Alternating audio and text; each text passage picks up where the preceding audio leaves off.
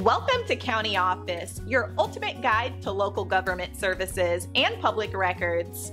Let's get started. How to hide LED strip lights. LED strip lights are popular for their versatility and aesthetic appeal. However, sometimes you may want to conceal them for a more seamless look. There are several effective methods to achieve this. One option is to install the LED strips in recessed areas.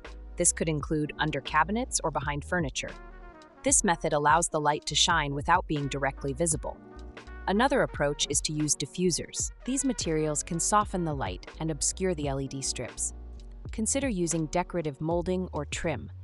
This can create a visually pleasing frame around the lights while hiding them from direct view. Additionally, fabric or curtains can be employed to cover LED strips. This method adds a cozy touch while effectively concealing the lights. Another technique involves placing the LED strips behind objects. This could be behind a television or artwork. The light will still illuminate the area without being visible.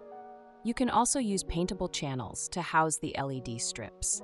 This allows you to blend them into the wall color. Finally, consider smart home technology. Some systems allow you to control the visibility of your lights remotely. This can add both convenience and style to your space.